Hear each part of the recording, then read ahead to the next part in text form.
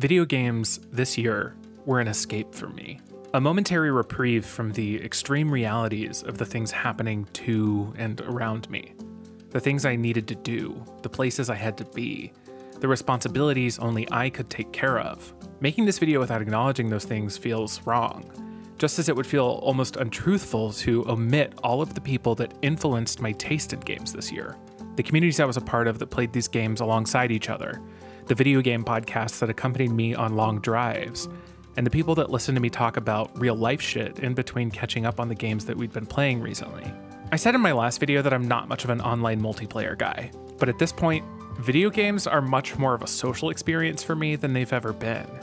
It doesn't matter that most of what I play are extremely pretentious narrative driven games. So when I think about my games of the year, yeah, I'm thinking about the games, but I'm also thinking about all those Discord chats about Tunic as new people discovered it throughout the year. I'm thinking about Gareth Damian Martin watching and loving my Citizen Sleeper video only like an hour after it was published. I assume because they saw it from one of you. And I'm thinking about you, the people who come back and watch these videos and leave comments and make all of this worth doing. So thank you to each one of you. These are my favorite games of 2022. We got two major Pokemon games this year. Both reinvented a dated formula, both looked questionable, and both were incredibly fun. Pokemon Scarlet and Violet have gotten the brunt of the hate online, and I'm not here to dunk on those games. They're great games buried under several layers of performance and graphical issues. But I'm old enough to remember January, when we were saying those same exact things about Pokemon Legends Arceus. Pokemon Legends Arceus hit hard for me. I spent so many hours in just the first zone just catching wild Pokemon. My favorite part about this game is how the battles are optional. Catching Pokemon without having to engage the Pokemon battle system, which I've always found very slow and opaque, was everything I didn't realize I'd wanted in these games. And yeah, the bosses were kind of a mess, and the game didn't look as good as I thought it should have, but I was having a blast. This game made the Hisui region feel like a place. Running around its zones, weaving through Pokemon as I went, I felt the things that I'd wanted to feel about Pokemon since I was a kid. They were all right there. You could almost reach out and touch them, or you could absolutely brain them with a Pokeball and take them with you. I'm trying my best lately to let my opinions be, to not have everything be a response to an opinion that I don't share, to not treat every individual person like they represent the toxic subreddit for the thing that I like. But that's hard with Pokemon, and it kind of always has been. So here's what I'll say about this game's issues as well as those in Scarlet and Violet. We got two major Pokemon games this year. Game Freak has obviously been struggling to make one for a long time. If there are issues, if these games were rushed out the door, that likely means that individuals working at Game Freak experienced significant crunch. We didn't need two Pokemon games this year, and I hope management at Game Freak feels the same. Because I'd love more Pokemon Legends Arceus, and I'd love it to be better, but not at the expense of the people who actually make it. We can wait till these games are done. I hope this Legend series continues. Pokemon Legends Arceus stands out in front of Scarlet and Violet for me because it focuses on the things that I love about Pokemon and sidelines or improves the rest. It makes the Pokemon world feel real and makes the Pokedex the driver of progress, not battles. That said, it improves the battle system in ways that I enjoyed while also eliminating my fear of random encounters. Navigating, especially after you get Sneasel, feels really great and the places you're exploring allow for a level of discovery that I hadn't expected. This is a game that I know I'll be coming back to. At times, the case of the Golden Idol reminded me of those kids' point and click games from the 90s that were supposed to teach me math. I swear that's a compliment. The vibes in both cases are immaculate. The Case of the Golden Idol is a game about uncovering mysteries. There's a grander narrative, but in each chapter, you're finding clues in an ongoing scene and attempting to put together the story of what happened in that moment. It's a beautiful game. It's not as beautiful as like Norco was, but the art style is the similar kind of pixel art meets simple line drawings that I really dug. And the mysteries made me want to dig, even past some of my frustrations in some of the later, more obtuse puzzles. I still wanted to just find out what the hell happened here. If you've played Return of the Obra Dinn, you know what kind of game Golden Idol is. That was a game that I had similar feelings about regarding difficulty, but a game that I adored all the same. I played this game in two settings on my couch on the Steam Deck. While the controls weren't perfect for it for that kind of game, it felt like a game that I should spend an evening with, or two. The intimacy and comfort of relaxing with a book is exactly the vibe to bring to this solid deduction narrative. I Was a Teenage Exocolonist is a game I only played at the recommendation of a person whose taste that I trust. It's a game with an aesthetic that, frankly, made me uninterested to begin with. Its storytelling and idealism in its early hours had me ideologically nodding, but wincing at how on the nose and didactic it seemed to be. And then something happened in the story. Something happened, and I realized that this was a game about growing up and about all of the ways that we adapt to a world that changes around us. It's about learning and growing beyond the wisdom of the people that raised us. And it's also about finding the parts of things that they believed that still ring true. I Was a Teenage Exocolonist puts you in control of a player character with any number of combinations of gender, body type, name, and pronouns. Whichever version of this character you choose, you're going to start their story at 10 years of age, when the ship that they've lived on their entire life lands on a planet called Vertumna. They're a member of a small group of ideological refugees that left a ruined Earth behind, knowing the life ahead of them would be difficult, but not knowing how. And you play this character, getting to know the other kids in your colony, learning about the unique attributes of this strange new place, and deciding what kind of person you're going to grow up to be. There's aspects of an RPG here. There's visual novel elements. Hell, there's even a relatively light but totally serviceable deck building game here and you can turn that off if you're uninterested. But I think the more important thing is the stories these mechanics are telling. Each card in your deck is a crucial moment in your life. Early on, you might have a card that represents the first time you crawled. Later on in the game, a card might represent your first kiss or your first loss. People told me before I played Exocolonist that it was a game that benefited from multiple playthroughs. The game signposts this in its first scene, where your character has, presumably, a dream from a past life, and you see yourself die. I played through this game while on vacation, and while I powered through it because I was having such a great time, I wasn't sure how much a repeat playthrough was something I was going to be interested in. When I finally did start a new game a couple months later, I immediately realized how things could be different this time. The interesting thing here is that in subsequent playthroughs, the game subtly nudges you to make new decisions. It's actually providing new opportunities that you didn't have the first time round for things to go differently. There's critical plot moments from my first playthrough that I wanted to go differently the second time, and at least one of those has already turned out different. Teenage Exocolonist didn't knock me out the way some other games have. It didn't overwhelm me. Instead, it sat with me and let me learn about it, the way a child learns about the world, and it asked which parts of that world I wanted to focus on.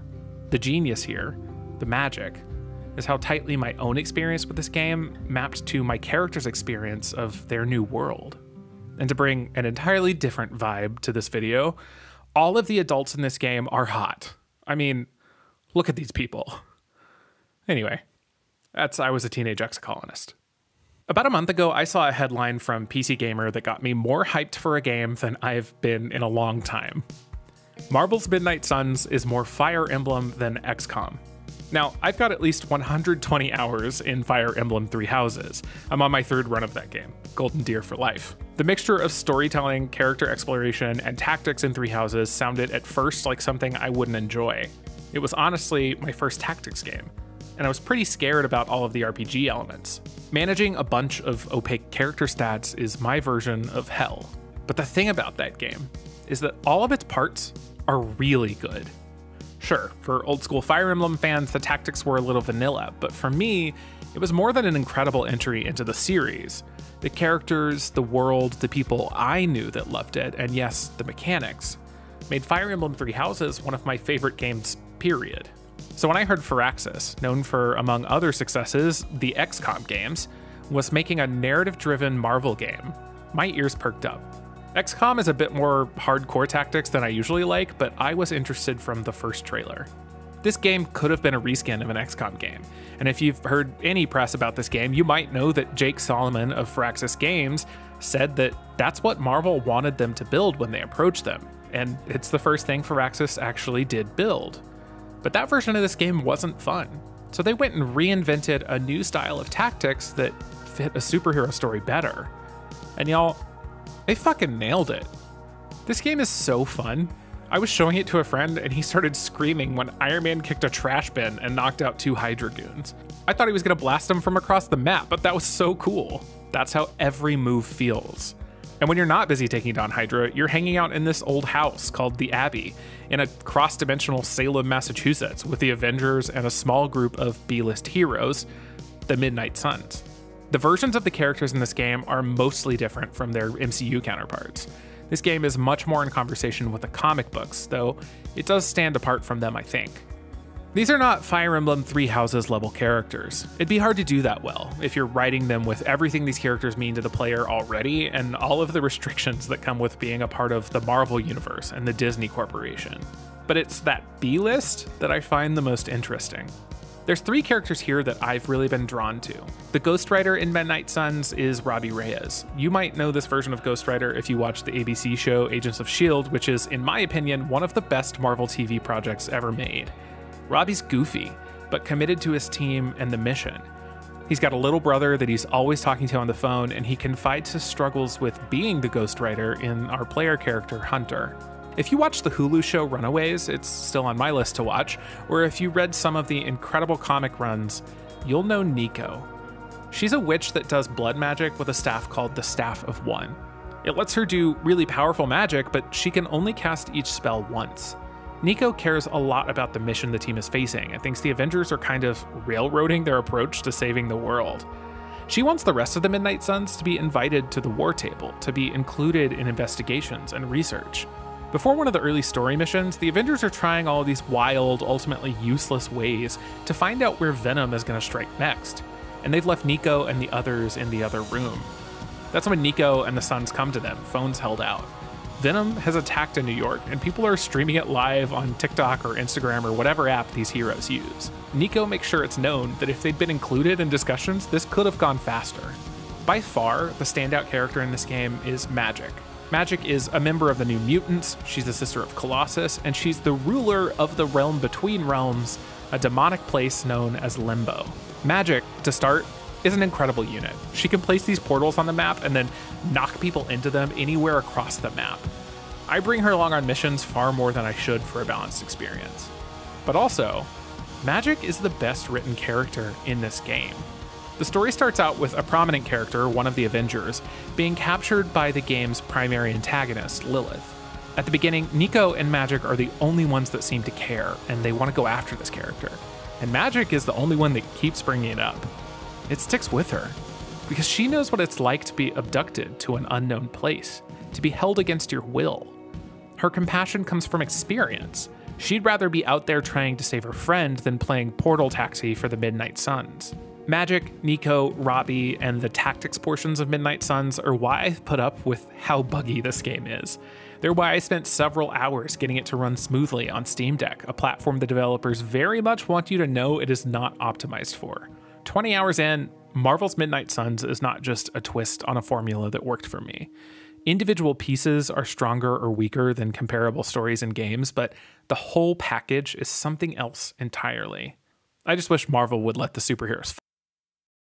Before I say anything, I want you to know that this game is available not only on Xbox Game Pass for PC and console, but also on your phone via Netflix. So if you want to play an incredibly innovative full motion video game, go to your phone's app store and search for Immortality.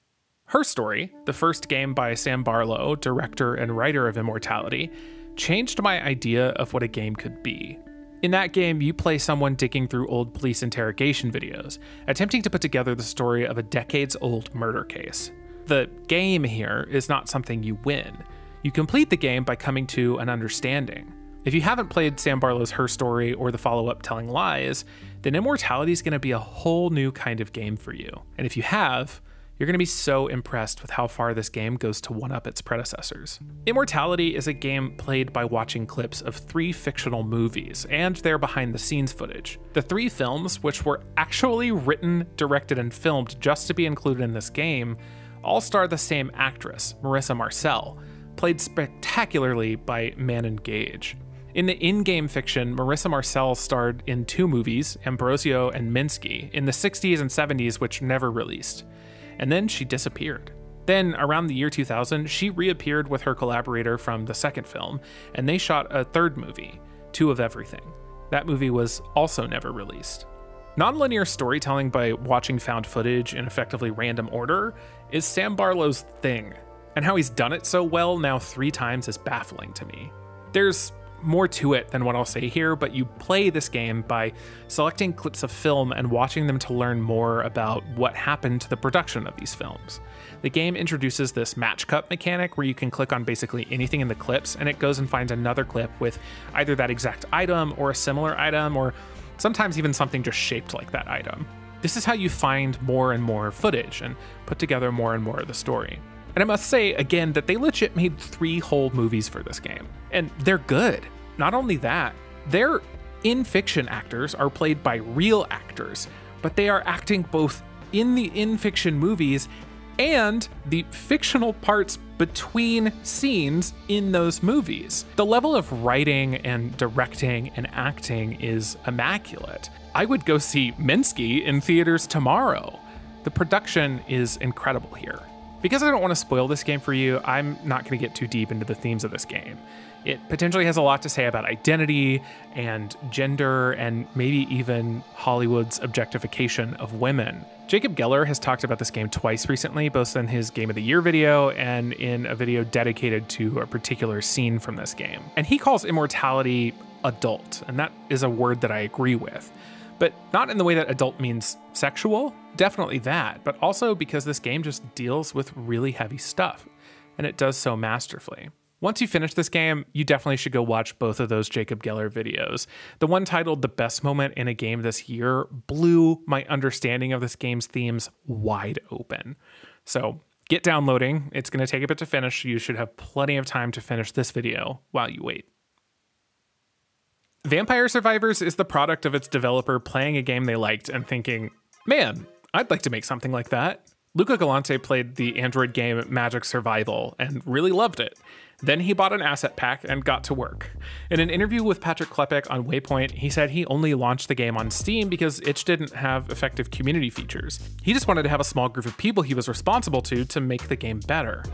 And then the thing that happens happened. A big YouTuber made a video about Vampire Survivors, and within a month, I was introduced to a game that I still cannot put down. The game doesn't look like much, but when you're navigating massive hordes of enemies with a single stick and your attacks are firing off in all directions, the near misses and storms of pixels are exhilarating. This game makes me feel that one more run feeling nearly as much as Hades did. And until 1.0, this game was $3. At full launch, the price jumped to $5. This game is the best $3 purchase I've ever made. I'm so happy Luca took the time to make this silly little game, and I hope he uses the money to make more. I said to some friends the other day that much like Luca Galante and Magic Survival, Marvel Snap is a game that makes me want to make a game. There's a permission I find in the story of Vampire Survivors specifically, the inspiration it was derived from, the copycats it spawned, and the sub sub sub genre that it didn't create but demanded. Marvel Snap lights my brain up with a creative electricity. Yeah, it's doing that mobile game thing where it's doling out dopamine hits at the exact right intervals so that I'll spend money at ever decreasing intervals. But there is a simple, pure mechanical invention here, and without it, none of that manufactured capitalist nonsense would even faze me. The game is good.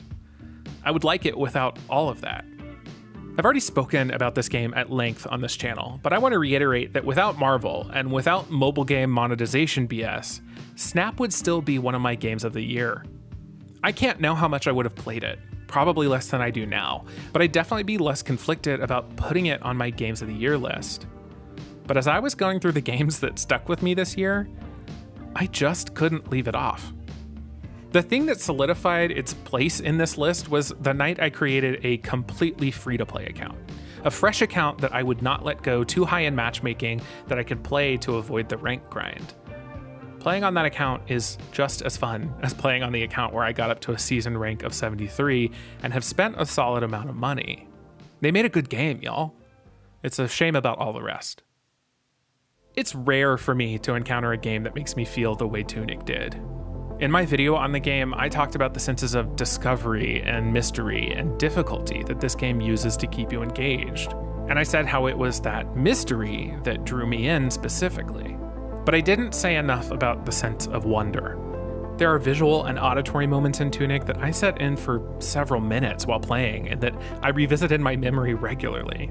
The sounds of this game have given otherwise stale moments in my days that same wonder, thanks to the music by Lifeformed and Janice Kwan. Tunic is a game that's nearly impossible to know all of. I don't mean that it's large or terribly long, it's really actually rather approachable in size. What I mean is that you can 100% Tunic and still not know all of the craft, all of the care, all of the thought that went into making this game what it was. I skipped one optional fight, but besides that, I did everything that Tunic has to offer. But I still learn more about the game what feels like every week. The community's translation of the in game glyphs revealed so much to me the Twitter thread by the game's sound designer unveiling and explaining a second secret hidden language hidden in the game's music and sound cues blew me away after that. There are moments in this game that I can never forget. Moments like crossing the bridge towards the quarry and climbing the tower to the librarian. The sense of power I felt after finishing a brutal boss rush fight late in the game. And the absolute elation of completing Tunic's final in game puzzle. Tunic mechanically is another game that I shouldn't have loved, but I did because it was simply beautiful. About an hour and a half after my Citizen Sleeper video essay went up on this channel, Gareth Damian Martin and the official Citizen Sleeper Twitter account shared it to their followers. Gareth wrote that it was extensive, personal, and beautifully narrated, and that it really gets what's at the heart of Citizen Sleeper. At the time they wrote that tweet, I was recording an episode of Asynchronous, a wonderful video game podcast that I'd been invited onto that week.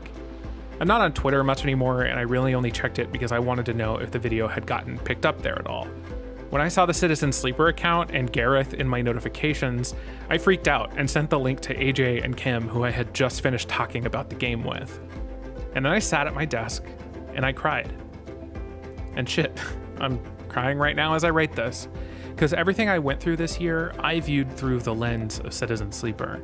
And through the hardest parts of it, I was writing that video or recording it or rewriting it or editing it or begging my brain to free me from the depression that brought my work on that video to a halt. I poured every extra ounce of myself I had into that video because that story meant so much to me and because I needed it. And after all that, the audience it was intended for not only found it, but loved it. And I don't just mean Gareth. You all have been so incredibly supportive and have helped me understand what's good about making the things that matter to me. I often get so self conscious about being another person peddling their new little project, and to have my most raw, most personal work be validated like that meant more to me than any view count ever could. But hey, views would be nice too, so if you like my videos, you should tell a friend. Citizen Sleeper is obviously my game of the year. What else could it be?